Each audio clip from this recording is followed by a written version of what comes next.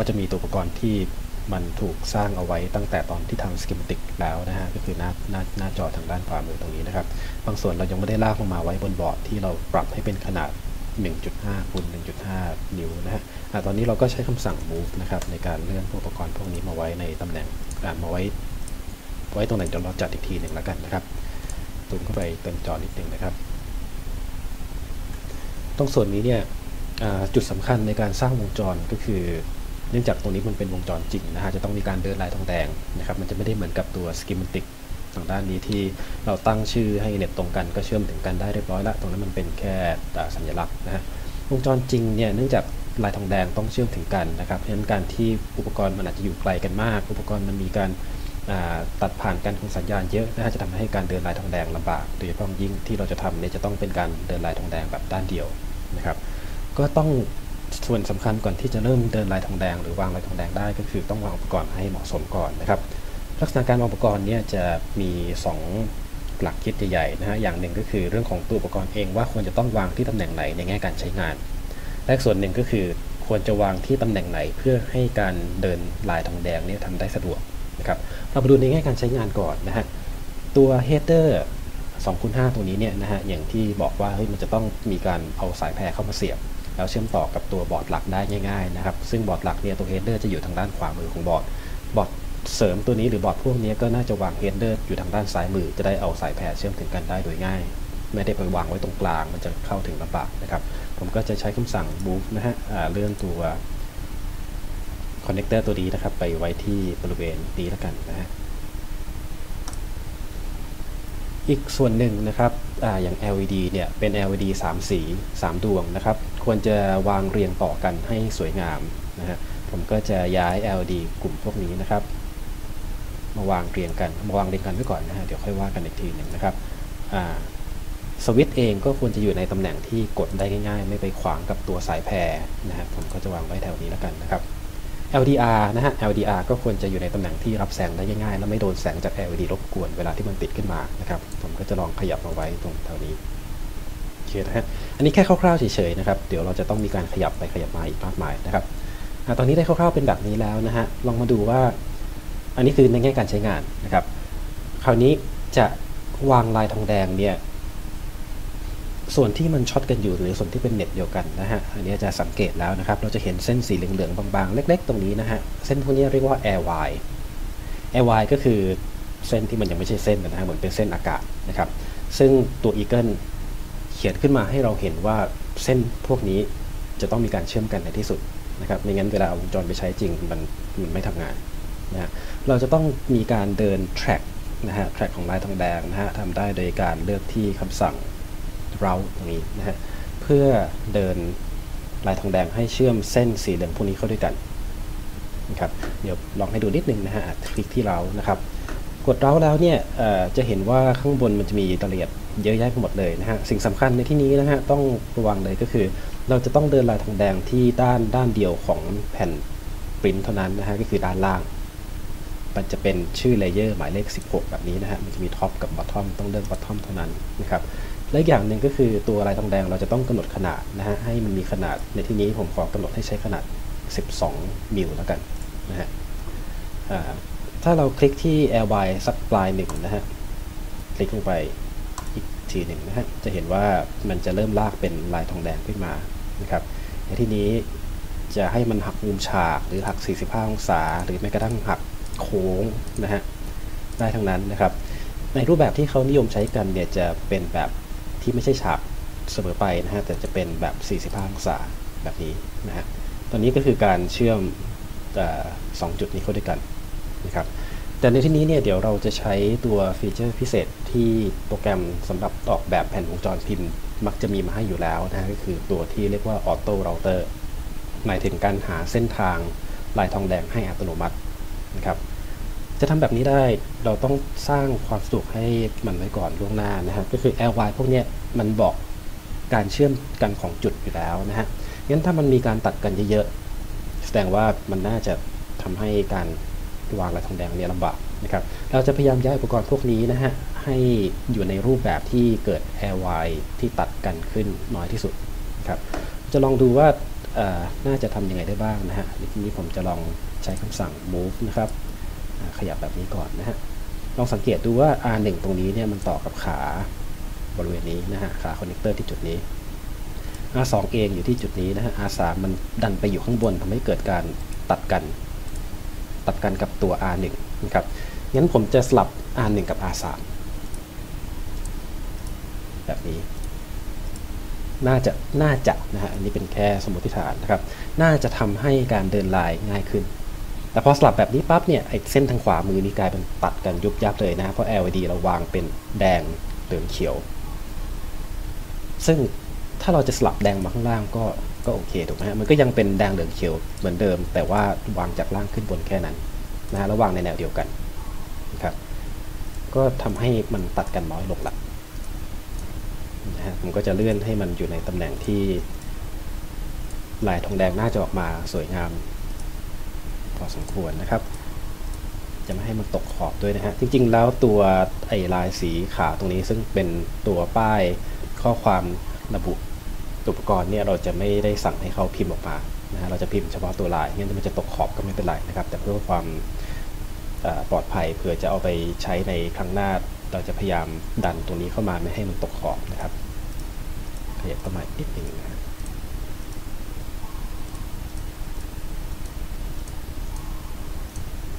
นะครับ ตัวสวิตช์เองมาดูว่าเราจะทำไงกับมันได้บ้างนะฮะ ตัวสวิตช์เนี่ยมันหันยังไงมันก็ยังเป็นสวิตช์ถูกไหมฮะในแง่ของการใช้งาน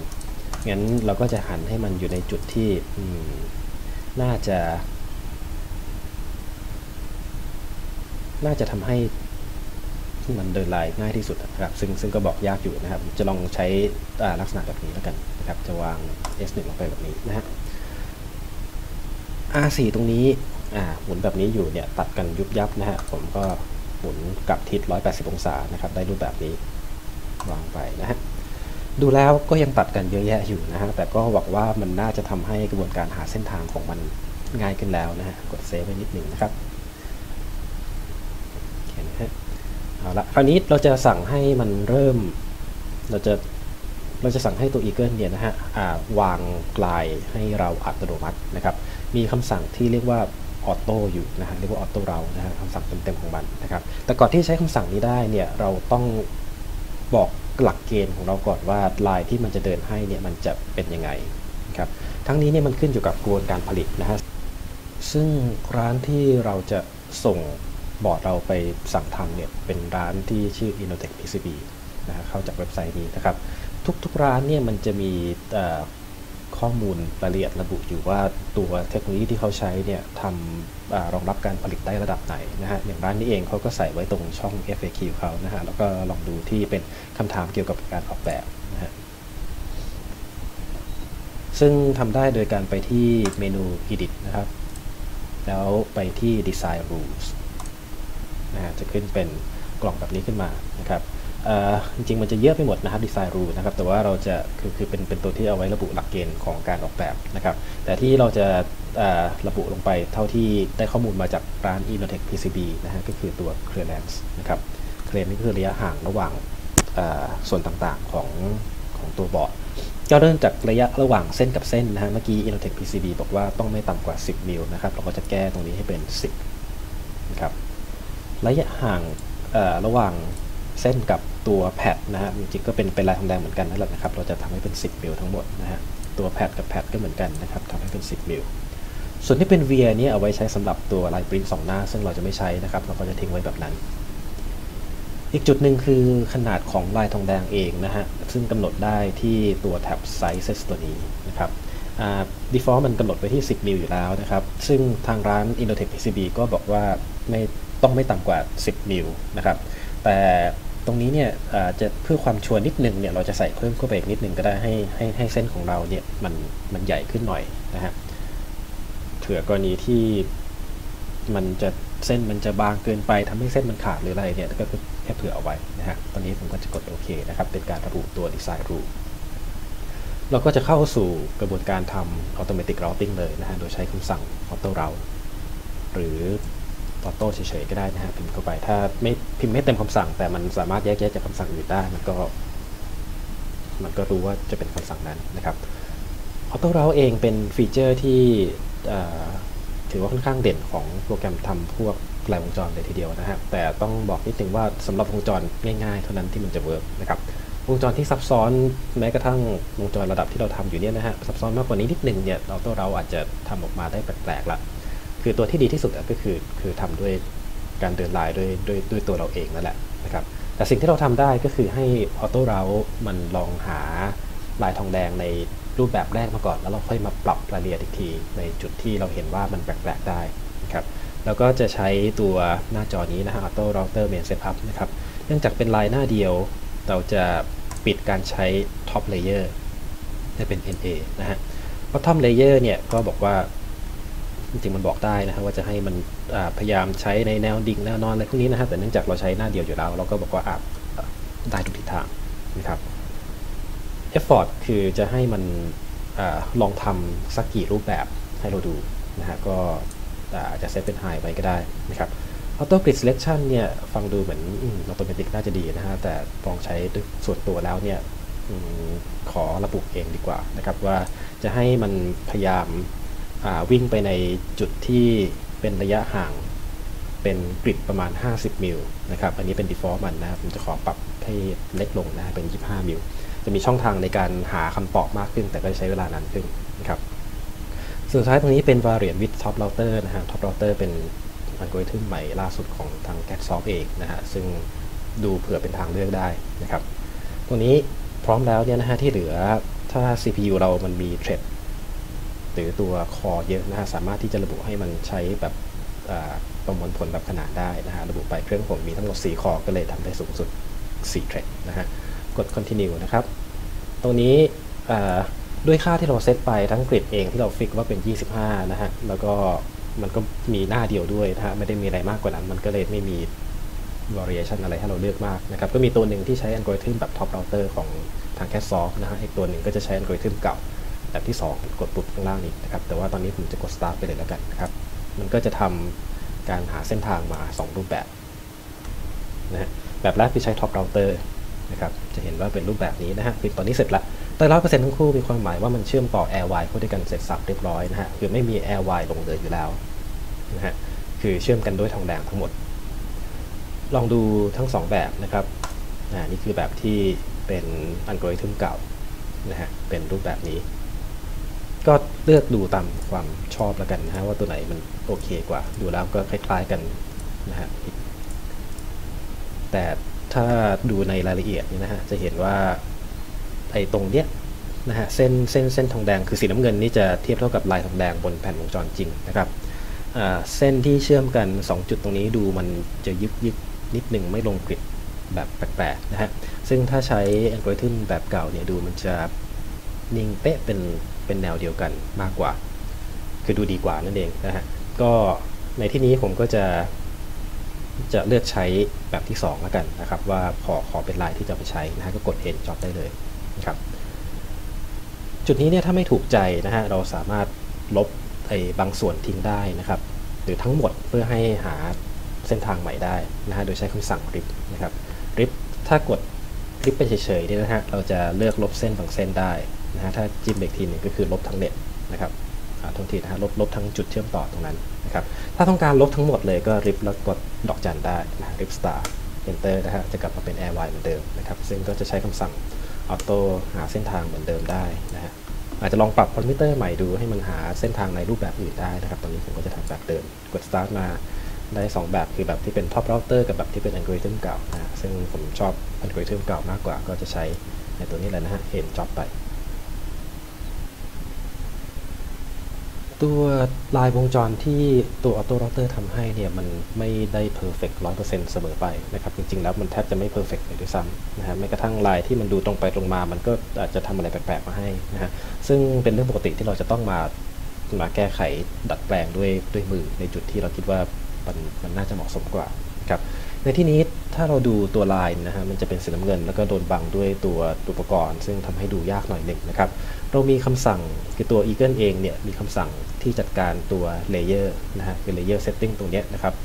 คำสั่งถ้าใช้ใน command line จะเรียกว่าเป็นคำสั่ง display นะฮะผมใช้ disp เฉยๆก็ได้นะครับมันจะเลือกในการมันจะให้เราเปิดปิด layer บางตัวได้นะครับตอนนี้ผมจะพิมพ์คำสั่งแบบนี้เลยนะฮะก็คือ display none หมายถึงปิด layer ทั้งหมด ไม่โชว์อะไรขึ้นมาเลยนะฮะแล้วตามด้วยการโชว์ layer ที่เรียกว่า bottom ก็คือ layer ด้านลายทองแดงด้านล่างนะสีน้ำเงินเรานะครับ กับ layer pad ก็คือแป้นทองแดงนะกด enter แล้วจะเห็นว่ามันจะเป็นลายลักษณะแบบนี้นะครับ ซึ่งโอเคอาจจะขาดไปอีกสัก layer หนึ่งนะครับผมกดลูกศรขึ้นนะแล้วเติมเข้าไปอีก layer หนึ่งชื่อ dimension มันจะให้กรอบของตัวบอร์ดเราไปด้วยนะฮะนี่ก็จะเป็นลายทองแดงที่เราคาดหวังว่าจะเห็นจากของจริงนะฮะ ก็จะมาดูจุดที่มันอาจจะสุ่มเสี่ยงว่าไอ้ตรงนี้มันจะใกล้เกินไปไหมนะฮะ แต่ว่าถ้าเราใส่ตามดีไซน์รูเช็คที่ได้จากตัวบริษัทตัวร้านที่ผลิตจริงๆนะฮะก็ถือว่าค่อนข้างปลอดภัย ผมจะลองขยับ 2 จุดนี้มาแล้วกันนะฮะ ในที่นี้ผมอาจจะเลือกใช้คำสั่ง rip นะครับคำสั่ง rip ตรงนี้นะฮะใช้คำสั่ง delete ไม่ได้นะฮะกับลายทองแดงต้องใช้คำสั่ง rip เท่านั้นนะฮะคือ rip up นะครับอาจจะลบตรงนี้ออกลบตรงนี้ออกนะฮะลบตรงนี้ออกไปนะครับ ลบแล้วแล้วก็เดินลายใหม่นะฮะแต่สังเกตว่ามันไอตัว airY มันก็หายไปด้วยนะครับงั้นเราต้องใช้ตัวคำสั่ง display เนี่ยดึงเอาไอตัว airY กลับมานะครับถ้าเราอยากจะเอา layer ทั้งหมดกลับคืนมา ก็ใช้ display all เลยก็ได้นะมันจะขึ้นเป็นแบบนี้มานะครับก็จะมี layer อื่นที่เดิมก่อนหน้าเราไม่ได้เปิดด้วยเช่นพวกรูเจาะพวกอะไรพวกนี้นะก็ไม่ได้มีปัญหาอะไรนะครับทิ้งไว้แบบนี้ได้ ที่สำคัญคือเราอยากจะเห็น airY ว่าตอนนี้มันเชื่อมยังไงนะครับ airY มันอาจจะดู ปลกนิดหนึ่งว่ามันมันมันมันมีหักมุมด้วยอะไรด้วยเนี่ยนะครับจริง ๆ แล้วทุกครั้งที่เราวางอุปกรณ์ใหม่จัดอุปกรณ์ใหม่เนี่ยมันจะต้องมีการใช้คำสั่งที่ให้มันคำนวณ airY ใหม่ทุกครั้งนะฮะคือคำสั่งที่ชื่อว่า brightness นะครับจะอยู่ที่จุดนี้นะฮะ brightness รังหนูเนี่ยนะฮะพิมพ์เองก็ได้นะฮะพิมพ์ bright นะครับ มันก็จะคำนวณ airY ใหม่ โดยเชื่อมเส้นที่สั้นที่สุดเข้าด้วยกันนะครับทำให้เราเห็นว่าเออเส้นมันจะตัดกันมันจะเชื่อมกันยังไง เราก็จะมาเดินลายตรงนี้กันใหม่นะฮะในขณะเดียวกันไอ้ตรงที่เป็นลายที่อ้อมขาตัวต้นทานตัวนี้ก็อาจจะคิดว่ามันมันใกล้ไปหน่อยด้วยนะฮะก็เราก็สามารถที่จะย้ายมันได้นะครับ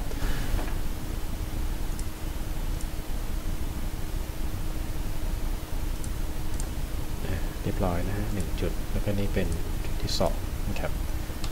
ลายก็จะเป็นลักษณะแบบนี้นะฮะ เปิดเลเยอร์ทั้งหมดกลับคืนมานะฮะ ซูมให้เห็นทั้งหมดได้เป็นรูปแบบนี้นะครับ ซึ่งดูแล้วน่าจะโอเคละนะฮะ จริงๆแล้วตัวนี้ก็ปรับได้ตามใจชอบนะครับ อันนึงที่จะให้ใส่เอาไว้ในตัวบอร์ดด้วยก็คือ เดี๋ยวบอร์ดตัวนี้จะสั่งทำทีเดียวทั้งหมดนะฮะยังจะต้องใส่ตัวชื่อแสดงความเป็นเจ้าของเอาไว้นะครับ ใช้คำสั่ง t ตรงนี้คือ text นะฮะ ให้ใส่เลขประจำตัว เอาแค่ 4 หลักก็พอนะ4หลักท้ายนะครับพร้อมกับชื่อนะฮะสันนี้ผมพิมพ์เป็นตัวอย่างแล้วกันนะครับ ใส่ลงไปในบอร์ดตรงพื้นที่ว่างๆ อย่าไปทับลายทองแดงนะฮะเพราะตรงนี้ในตัวที่เราพิมพ์นี่ก็ต้องพิมพ์ด้วยทองแดงเหมือนกันนะฮะใส่เอาไว้ที่จุดจุดหนึ่งตรงนี้ถ้าเป็นกรณีบอร์ดผมก็ตรงนี้น่าจะวางได้นะคราวนี้ต้องให้แน่ใจว่ามันอยู่บน layer ลายทองแดงด้วยก็คือสีน้ำเงินนะฮะถ้า เมื่อกี้กดพลาดไปยังไงนะฮะกดที่ตรงนี้แล้วไปกดที่ property นะครับตัวเส้นของมันนี้ก็ต้องใหญ่ให้เพียงพอกับที่ร้านจะทำได้ด้วยนะฮะซึ่งเมื่อกี้เขาบอกว่าอยู่ที่ 10 นิ้วนะฮะแต่ตรงนี้ที่เราจะมาปรับเนี่ยมันไม่ได้บอกชัดๆว่าไอ้ตรงไหนจะปรับเป็นกี่มิลยังไงนะฮะตรงนี้ให้ให้ใส่แบบนี้ไปเลยแล้วกันนะฮะคือไซส์เนี่ยอยู่ที่ที่เหมาะสมที่ลองมาแล้วเนี่ยอยู่ที่ 70 แล้วก็เรโช20นะฮะ20%กดโอเคจะได้แบบนี้นะฮะเส้นจะใหญ่ขึ้นมานะครับ ไซส์เท่าเดิมคือ 70 เหมือนเดิม แต่ว่าเส้นจะใหญ่ขึ้นมาด้วยเรโช20%นะครับลองดูที่ display non bottom นะครับบอทเฉยๆก็ได้นะฮะ pad แล้วก็ dimension นะครับนี่คือรูปร่างหน้าตาลายทองแดงที่เราคาดว่าจะได้กลับคืนมาเพื่อใช้ในการตัดกรีดตอนนี้ก็เกือบเสร็จขั้นตอนแล้วนะฮะคือ เหลืออีกนิดหนึ่งที่จะพร้อมส่งร้านได้แล้วนะครับ ต้องทำตัวที่เรียกว่า DRC นะฮะหรือ Design Rule Check นะครับมีคำสั่ง DRC อยู่ตรงเมนูตรง toolbar ตรงนี้แหละนะฮะแต่ว่าพิมพ์เองก็ได้นะครับพิมพ์ DRC มันจะขึ้นเป็นหน้านี้ขึ้นมา ซึ่งคุ้นๆกับที่เราใส่ design rule เข้าไปใช่ไหมฮะแต่ตรงนี้มันจะทำการเช็คด้วยนะครับกดปุ่มเช็คนะฮะ เช็คแล้วมันก็จะบอกว่าตรงไหนที่มันดูจะไม่เข้าเกณฑ์การออกแบบหรือเปล่านะฮะอย่างที่บอกไปตอนแรกว่าตัวฟอนต์ต่างๆ มันควรจะให้อยู่ใน vector font มันก็เลยฟ้องในเคสของผมมันฟ้อง error มาว่าฟอนต์ตัวนี้ไม่ใช่ vector font นะฮะซึ่งพอดีร้านที่ส่งไปเนี่ยเขาไม่ได้แคร์เรื่อง vector font เท่าไหร่จะปล่อยผ่านก็ได้นะฮะแต่ถ้าเผื่ออนาคตเผื่อไปทำตัวชิ้นงานเองอะไรเอง ที่เครื่องจักรที่มันต้องการ vector font จริงๆ ก็ก็เผื่อไว้นะฮะผมก็จะมาปรับในตัวฟอนต์ ตัวนี้ให้เป็นเวกเตอร์นะฮะเรียบร้อยก็ทำ DRC อีกรอบหนึ่งนะครับ เช็คอะตัวนี้คือผ่านล้วนะฮะ ซึ่งหมายความว่าในแง่ของการเดินลายนะฮะขนาดมีขนาดเหมาะสมแล้วนะครับ ไม่ใกล้กันเกินนะฮะขนาดมีขนาดที่ไม่เล็กเกินไปนะฮะไม่ติดขอบเกินไปนะครับแต่จุดที่มันยังขาดที่ทาง DRC เช็คเนี่ยมันไม่ได้ทำให้ก็คือกรณีที่เราลืมเดินลาย คือมี ly ลงเหลืออยู่นะครับนี่ผมจะลองสาธิตให้ดูนะฮะสมมุติว่าแต่ผมจะริบอัพเส้นบางเส้นไปแล้วกันนะครับ เอาเส้นที่เห็นชัดๆเอาที่ไม่ชัดเท่าไหร่ก็ได้นะฮะเส้นเส้นนี้ปึ๊บนะดูเผินๆแบบนี้เราก็ไม่รู้หรอกนะฮะว่าจริงๆแล้วมันมีอะไรอยู่ตรงนั้นหรือเปล่านะครับ ถ้าเราสั่ง display ออนะฮะมันก็จะดูกลืนๆกันไปหมดนะครับ ถ้าสั่ง drc สั่งเช็ค นะฮะตัว stop mask ตัวนี้อะพอดีมันมี layer ที่ที่มันทำให้ ที่ไอตัวตัวตัวที่จะพิมพ์ label ของอุปกรณ์เนี่ยนะฮะมันไปซ้อนกับตัวจุดที่เราจะบัดกรีนะครับ จริงๆควรจะดันให้มันห่างนิดหนึ่งนะฮะตอนนี้เดี๋ยวขอค่อยๆกลับมาที่ตัวที่เราเพิ่งลบทิ้งไปเมื่อกี้ทีหลังแล้วกันนะฮะตอนนี้ผมจะขยับไอตัวนี้ออกไปก่อนนะฮะคือ จะขยับลาเบลเนี่ยกับค่าของมันเนี่ยมันต้องขยับไปพร้อมกับไอตัวอุปกรณ์นี้นะฮะแต่เราสามารถที่จะทุบให้มันแตกเป็นเสียงๆได้นะฮะให้คือทุบในที่นี้หมายถึงทุบสัญลักษณ์นะฮะให้ไอตัวลาเบลกับตัวค่าเนี่ยหลุดออกจากตัวอุปกรณ์ได้โดยการใช้คำสั่ง smash นะฮะผมจะ smash ทั้ง 3 อันเลยนะฮะตอนนี้ smash แล้วดูไม่มีอะไรเกิดขึ้น แต่เราสามารถที่จะใช้คำสั่ง move ในการย้าย ตัว LD นี้ขยับออกไปนี้ได้นะฮะ ตัวกรีนนี้ดันลงมาข้างล่างนิดหนึ่งนะฮะทำกริดให้มันเล็กหน่อยก็ได้นะครับ ผมสามารถใช้ปุ่มกดตัดเนตค้างไว้นะฮะแล้วขยับเมาส์ได้ อันนี้ก็เหมือนกันนะกดตัดเนตค้างไว้แล้วขยับเมาส์